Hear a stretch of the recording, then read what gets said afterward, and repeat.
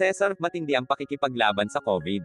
Nagsalita na ang aktor na si Cesar Montano tungkol sa pakikipaglaban niya sa COVID-19 sa programa ni Christy Ferman sa Radyo 5 na Christy Per Minute with Romel Chica kahapon. Grabe pala at nag-pass out na siya at akala talaga niya ay bibigay na siya. Ayon pa inactive actor hindi basta severe ang tumama sa kanya, talaga raw naging critical siya. Thankful lang siya na hindi siya na-intubate. Nakatulong daw na natutulog siya ng nakadapa at healthy lifestyle.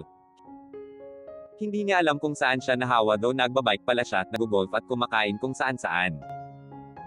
Okay na raw siya ngayon pero matagal bago siya totally makarecover sa pneumonia. Kasabay niya noong na-confine dahil din sa COVID ang kaibigan niyang si Alvin Ansen.